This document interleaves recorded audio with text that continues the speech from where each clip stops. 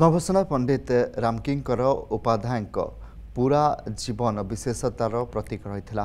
ଲକ୍ଷ୍ନୌରେ ଇନ୍ଦିରା ଗାନ୍ଧୀ ପ୍ରତିଷ୍ଠାନରେ ପଣ୍ଡିତ ରାମକିଙ୍କର ଜନ୍ମବାର୍ଷିକୀରେ ଶ୍ରଦ୍ଧାଞ୍ଜଳି ଅର୍ପଣ କରିବା ସହିତ ତାଙ୍କ ସ୍ମୃତିରେ ଏହା କହିଛନ୍ତି ଉତ୍ତରପ୍ରଦେଶ ମୁଖ୍ୟମନ୍ତ୍ରୀ ଯୋଗୀ ଆଦିତ୍ୟନାଥ।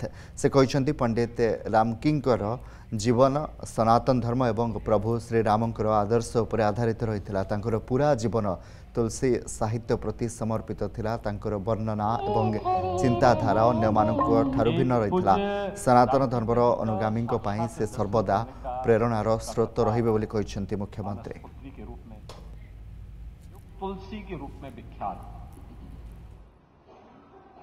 पूज्य राम किनकर जी महाराज के पूरा जीवन तुलसी साहित्य के प्रति, मानस के प्रति समर्पण का था।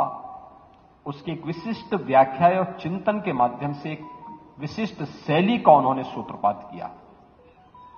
हमें इस बात को याद रखना होगा कि लकीर का फकीर जो बनता है, वह साधारण होता है। लेकिन लीक से हट करके जो विशिष्ट कार्य करता है, वही विशिष्ट होता है और वही महापुरुष होता है।